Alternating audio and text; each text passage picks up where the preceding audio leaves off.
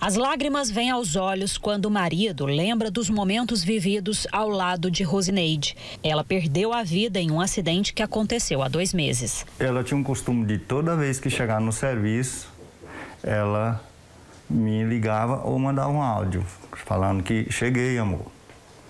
E esse dia não chegou, esperei dar. Ela saiu faltando seis para seis.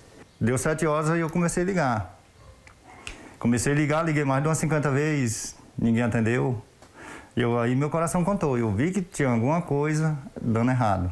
O acidente aconteceu na BR-153, mais ou menos neste ponto, sentido Aparecida de Goiânia, Goiânia. A Rosineide era técnica em enfermagem. Ela estava indo trabalhar em um hospital particular de Goiânia e há oito anos fazia o mesmo trajeto em uma moto pequena. Segundo parentes, ela sempre andava na pista da direita. E como o corpo foi encontrado na pista da esquerda, eles acreditam que primeiro um carro bateu na moto, fazendo com que a mulher caísse na pista e depois fosse atropelada por um caminhão.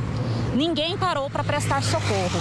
E era um horário mais ou menos de pico, 6 horas da manhã.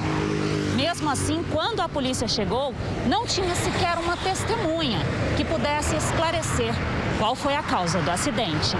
O cara não estava certo para não ver a moto. E a pessoa pilotando a moto batia assim e deixava lá que enchia um saco de batata.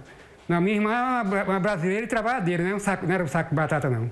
Aparecido disse que já cobrou investigação para a morte de Rosineide e lamenta que até hoje não teve respostas.